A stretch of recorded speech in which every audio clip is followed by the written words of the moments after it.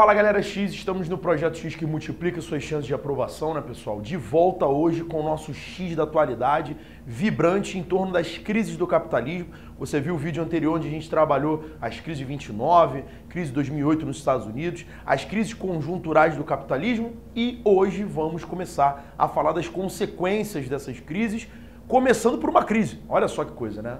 A crise gera crise. A crise europeia é a grande consequência da crise dos Estados Unidos, pelo fato de que a Europa e os Estados Unidos têm uma economia muito íntima, né? A gente deve perceber, pessoal, que a Europa, sendo um grande exportador de produtos de luxo, produtos né, cotados em euro, que é uma moeda valorizadíssima, tinham nos Estados Unidos seu principal mercado consumidor. Além disso, né, muitos investimentos americanos estavam na economia europeia e no momento de crise nos Estados Unidos, onde eles precisaram né, repor esses, essas perdas, esse dinheiro vai ser arrancado da Europa e levado de volta para o mercado americano. Isso gera um rombo, né? gera uma dificuldade muito importante na economia europeia. Porém, devemos pensar, pessoal, o seguinte: a União Europeia ela apresentava crise antes mesmo de ser declarada essa crise. Por quê? Só a Espanha, antes da crise, tinha 16% de desemprego. Como que um lugar que tem 16% de desemprego não está em crise. No Brasil tem 4,8% e você tem aí os né, anunciantes do apocalipse dizendo que estamos em recessão.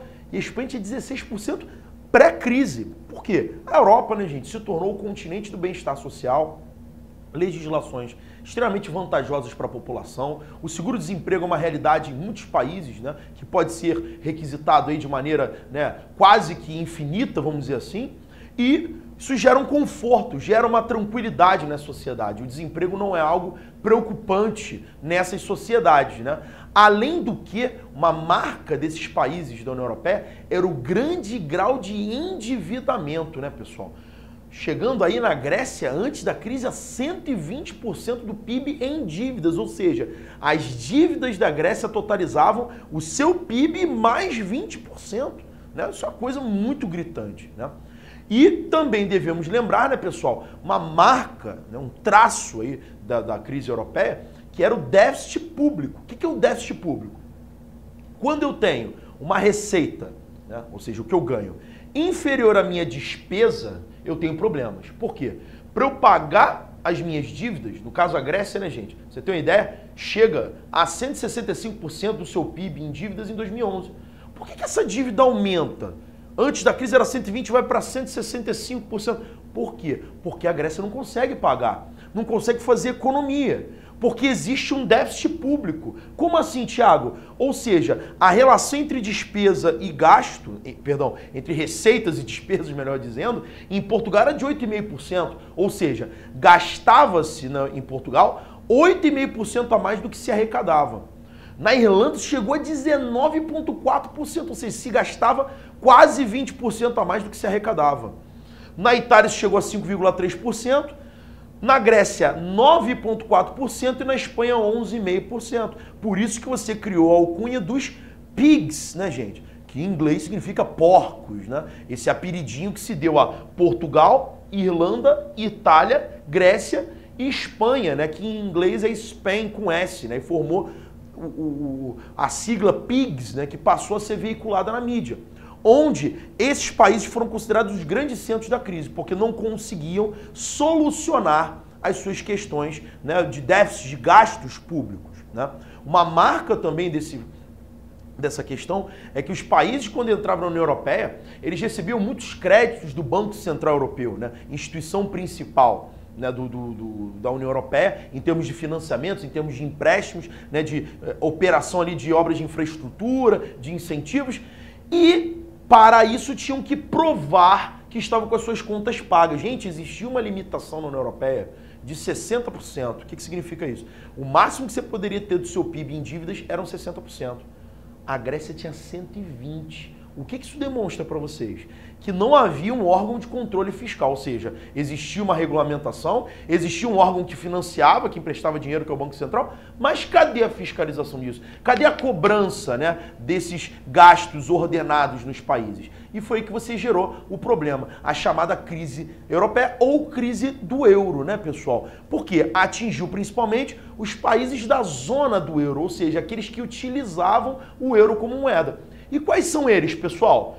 Zona do euro é composta pela Alemanha, Áustria, Bélgica, Chipre, Eslováquia, Eslovênia, Espanha, Estônia, Finlândia, França, Grécia, Irlanda, Itália, Luxemburgo, Malta, Holanda e Portugal. Ou seja, ficou de fora na União Europeia da zona do euro o Reino Unido, a Dinamarca e Hungria, República Tcheca, Croácia, Romênia, Bulgária, Polônia, Letônia, Lituânia e Suécia.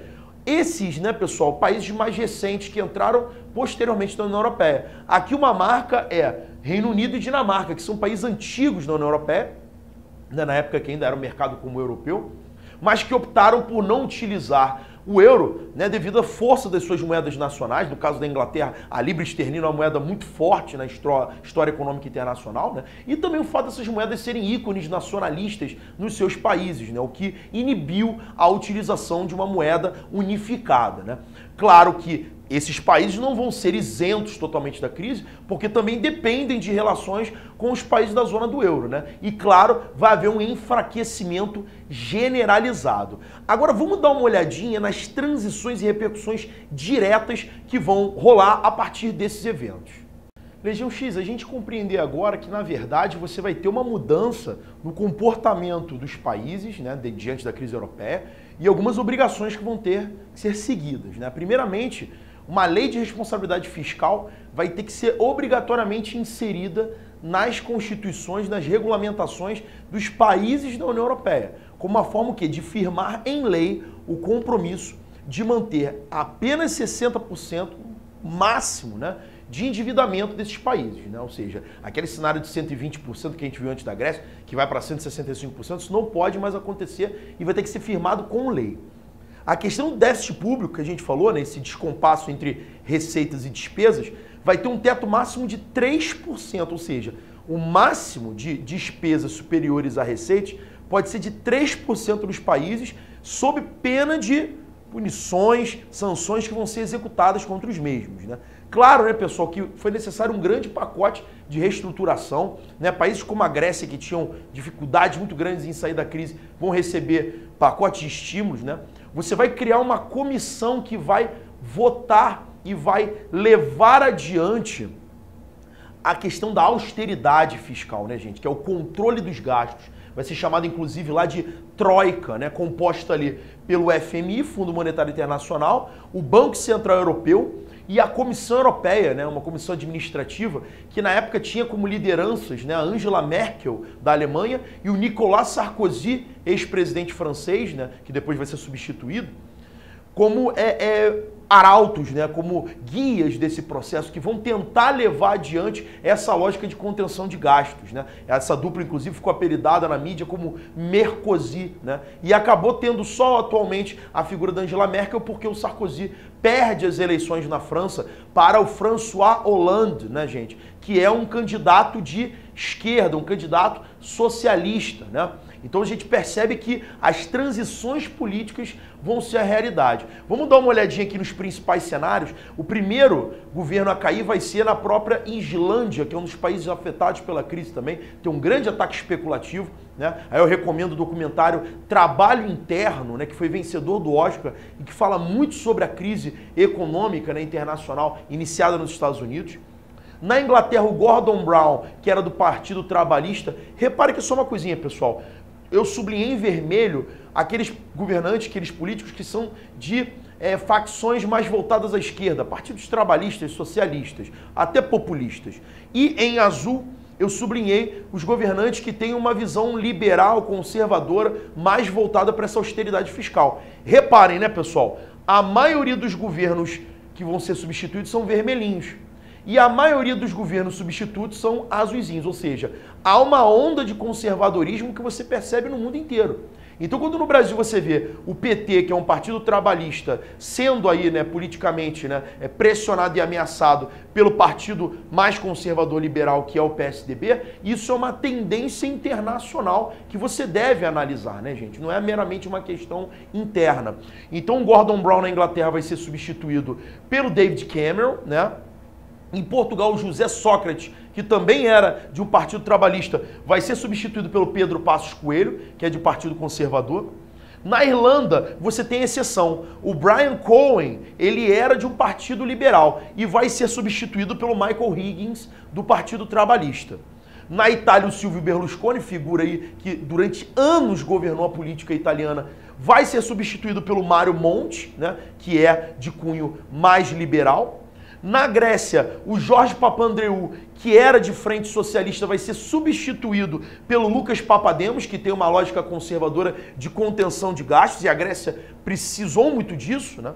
E a Espanha, você tinha o Zapatero, que era da frente trabalhista que vai ser substituído pelo Mariano Rajoy, né, ou Rajoy, né, que é de uma frente também liberal conservadora. Então você vê que é uma tendência né, política na Europa e que vai seguir uma lógica internacional. Vimos o Barack Obama para ser reeleito com dificuldade, né? o Partido Republicano tendo ali um discurso mais liberal, quase vencendo as eleições né, na época, e no Brasil o mesmo cenário nas eleições. Né? Então a gente vê que é um contexto internacional bastante marcado por essas transições políticas. Pessoal, para a gente encerrar, colocar a cerejinha no bolo, é importante a gente perceber o que, que, está acontecendo numa escala mais ampla após todos esses processos de crise que a gente estudou nesses dois maravilhosos vídeos até então. Gente, a multipolaridade, né, que é tão pregada na globalização, na verdade, ela começa a ser percebida há muito pouco tempo. Né? Até então, os países centrais eles se concentravam, né? eles se reuniam num grupo muito restrito. Você tinha o chamado G8, que era composto pelo G7, grupo criado em 1975. Na verdade, ele se chamava até G6, né? Em 76, o Canadá entra e forma o G7. E esse G8 era composto pela Rússia, que é uma potência militar, mais o G7, né? Com os Estados Unidos, Japão, Alemanha Inglaterra, França, Itália e Canadá. Né? Então, a reunião desses oito decidiam os rumos da economia global. Só que depois dessas crises que a gente estudou aqui, você não podia mais negociar somente com esse grupo. Até porque esse grupo ele se apresentava em declínio. A crise é nos Estados Unidos, a crise é na Europa. Você precisa dialogar com novos centros. Como não chamar a China para as negociações? A China coloca um trilhão de dólares, gente, na economia americana após a crise de 2008, para levantar os americanos, já porque eles precisam do consumo americano também. O Brasil, celeiro mundial de alimentos, a Índia, expoente de tecnologia, a Rússia em energia. Então, os BRICS, né, gente, precisam ser convocados. É aí que você tem a lógica do G20, que é o G8 mais 12 países emergentes que se somam a esses oito, né? Que reúnem, dentro desse G20, 90% do PIB mundial, 80% das relações comerciais internacionais e dois terços da população mundial. Aí você criou o quê? Uma lógica mais abrangente, uma lógica que agora sim apresenta uma bipolaridade. Uma multipolaridade, melhor dizendo, né? A bipolaridade é comum à Guerra Fria. Então, essa multipolaridade, hoje ela está na sua expressão máxima. Né? Temos notoriamente na geopolítica, no cenário internacional, o grupo dos países tradicionais, os países centrais que sempre foram líderes, né? Estados Unidos, os países europeus, que se organizam numa possível associação chamada de TAFTA. Né? Temos um vídeo aqui no X da Atualidade, você volta lá para assistir, que é o Acordo de Livre Comércio Transatlântico, né? que tenta integrar o NAFTA e a União Europeia. Se esse bloco vai ser ou não ainda é uma incerteza. Provavelmente não. A população europeia é muito reticente quanto a isso, mas é uma realidade de aproximação, de alinhamento. Por outro lado, temos o BRICS, Brasil, Rússia, Índia, China e África do Sul que se soma depois desse grupo como um verdadeiro bloco econômico atualmente, não em livre comércio, mas em aproximação, né, gente? Tivemos a criação em 2014 do Banco do BRICS no Brasil cidade de Fortaleza teve uma cerimônia para poder executar a oficialização desse banco de desenvolvimento, onde países emergentes agora também vão emprestar dinheiro, também vão ser né, donos de títulos de dívidas. Uma condição que sempre foi presente a quem? Aos países tradicionais, aos centros de riqueza tradicionais, né, com o FMI, com o Banco Mundial, por exemplo. Então a gente percebe atualmente, depois dessas crises capitalistas, né, depois dessa ideia dos ciclos que a gente falou lá no iníciozinho do primeiro vídeo, um cenário de mudança, né? novos centros de poder emergindo, centros tradicionais declinando, Né? E os rumos disso estão sendo vistos aí nos noticiários diariamente, né, gente? Ou seja, os tradicionais pressionando para ainda manter as suas rédeas e por outro lado, os emergentes buscando né, a sua independência, a sua autonomia né, e conseguindo isso cada vez mais no mercado. Obviamente que liderados pela China, que deve se tornar a maior potência do mundo nos próximos 10 anos.